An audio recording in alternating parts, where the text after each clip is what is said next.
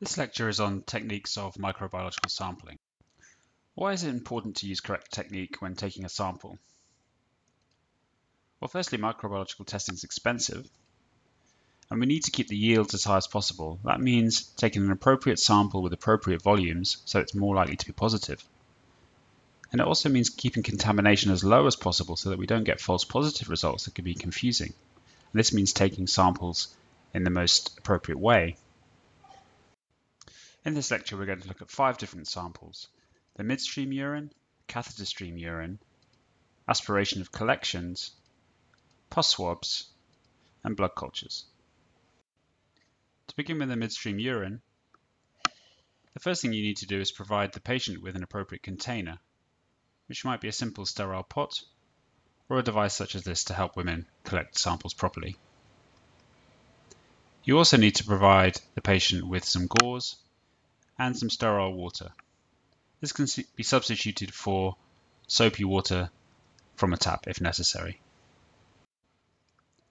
To instruct a female on how to collect an MSU, instruct her to wash her hands, to clean the vulva from front to back, spread the labia with her fingers.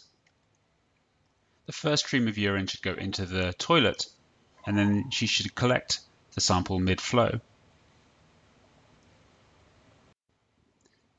To instruct a male, ask him to wash his hands, to retract the foreskin and clean the glans. Again, the first stream should go into the toilet, then he should collect urine mid-flow.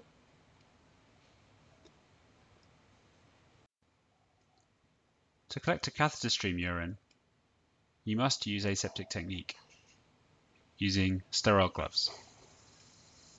First, clamp the tubing just distal to the sampling port. Wipe the sampling port with appropriate cleaning solution. Remove urine with a small gauge sterile needle and syringe. Transfer this to a sterile container. Clean the port again and unclamp the tubing.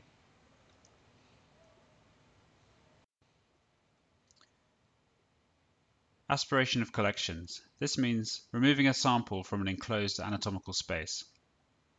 This might be through the skin in which case it's important to use aseptic technique and a pair of sterile gloves. Or it might be interoper interoperatively when you will already be using sterile technique. Moving on to pus swabs. Wounds come in all different shapes and sizes. Here are four examples.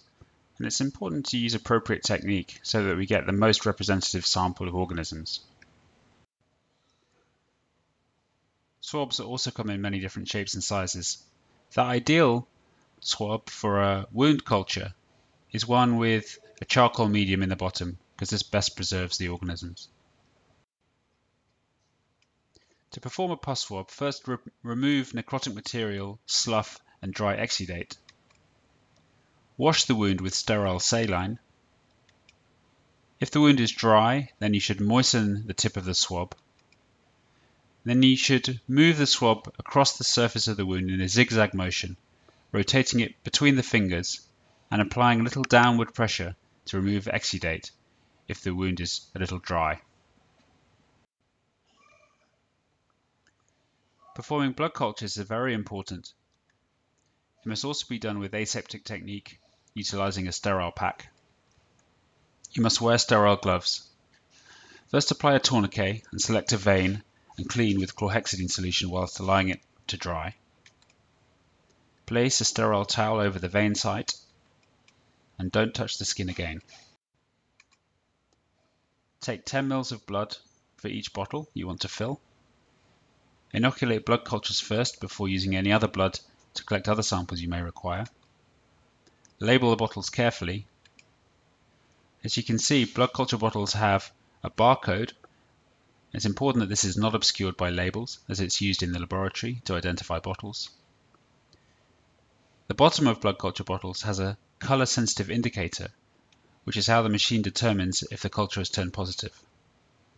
It's therefore important not to obscure these with your patient labels. Once you've taken a blood culture, send it to the laboratory quickly. So in summary, Correct sampling reduces false positive and false negative results. This reduces costs and is therefore a benefit to patients. Ensure samples are from appropriate sites and with appropriate volumes, and ensure good aseptic technique to prevent contamination.